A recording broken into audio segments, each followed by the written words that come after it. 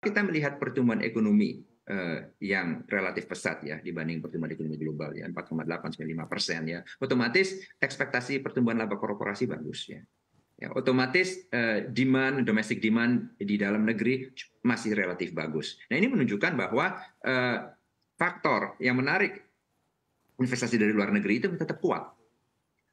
Beda jika jika misalnya uh, pertumbuhan ekonomi Indonesia terpuruk menjadi negatif, ya yang kemungkinannya itu sangat sangat kecil, ya dan kurs rupiahnya juga terpuruk.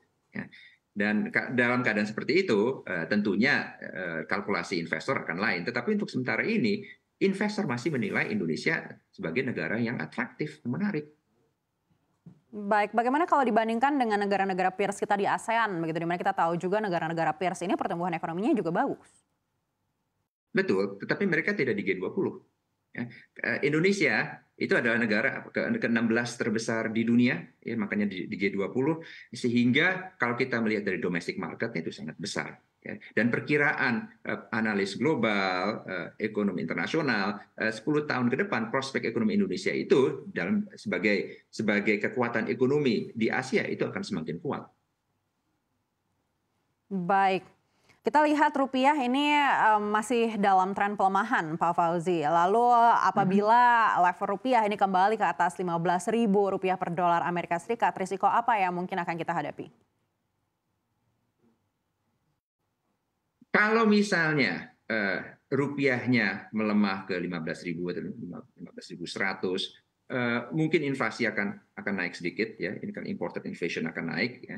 Tapi kembali lagi ini bukanlah sesuatu yang uh, disastrous ya. Karena uh, kembali lagi ini bukanlah sesuatu yang lasting ya. Uh, equilibrium baru itu akan tercapai sewaktu para pelaku pasar internasional menilai bahwa suku bunga Fed funds rate tidak akan naik lagi apakah itu di 5,25 persen di level sekarang, apakah itu di 5,5 persen, ya, atau 5,75 persen. Sehingga sewaktu suku bunga acuan uh, Bank Sentral Amerika Serikat dan bank, uh, suku bunga acuan Bank Sentral misalnya Eropa itu sudah diperkirakan tidak akan naik lagi, maka akan ada kalkulasi-kalkulasi baru di uh, sudut pandang ekonomi dan investor internasional. Yaitu semuanya itu menjadi relatif di mana e, ekonomi suatu negara yang pertumbuhannya lebih pesat dibanding ekonomi dunia itu akan menjadi menarik.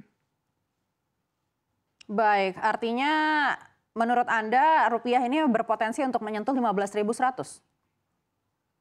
Potensi itu akan selalu ada 15 dari dari 14.900 ke 15.100. Tetapi kembali lagi kita pernah uh, mengalami volatilitas yang lebih parah di saat pertumbuhan ekonomi Indonesia itu kontraksi.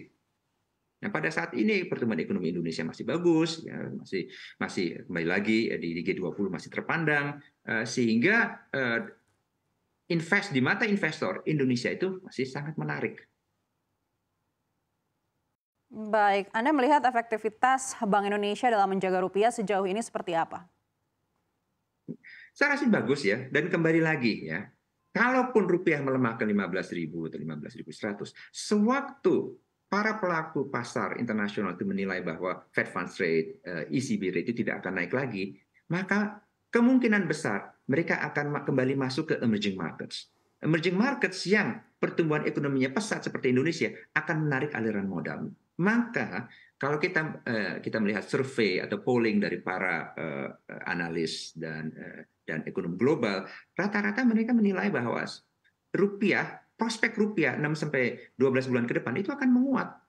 Jadi kalaupun melemah, melemahnya itu temporer. Karena setelah suku bunga global dianggap tidak akan naik lagi, maka faktor yang menentukan adalah pertumbuhan ekonomi, pertumbuhan laba korporasi, iklim investasi, dan Indonesia itu memiliki faktor-faktor yang positif yang berkaitan dengan hal tersebut.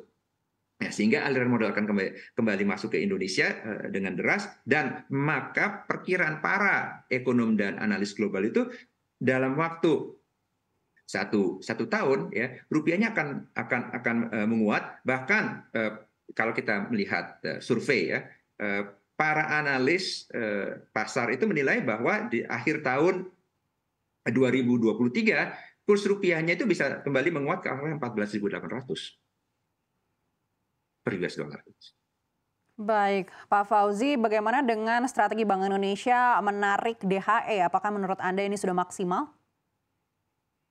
Ya, kembali lagi saya rasa eh, eh, bank sentral tentunya eh, wajib ya untuk melakukan hal-hal yang yang harus dilakukan untuk menarik uh, devisa dari luar negeri. Ya. Tapi kembali lagi pada akhirnya yang menentukan kurs dolar rupiah itu adalah arus modal. Ya, arus modal yang tidak saja uh, didikte atau ditentukan oleh bank sentral tetapi juga oleh eh, neraca perdagangan, oleh neraca transaksi berjalan, dan dalam hal ini adalah harga komoditas, eh, dan dalam hal ini adalah pertumbuhan ekonomi, eh, pertumbuhan laba korporasi, selisih suku bunga, ya. Hal-hal ini yang akan akan lebih menentukan.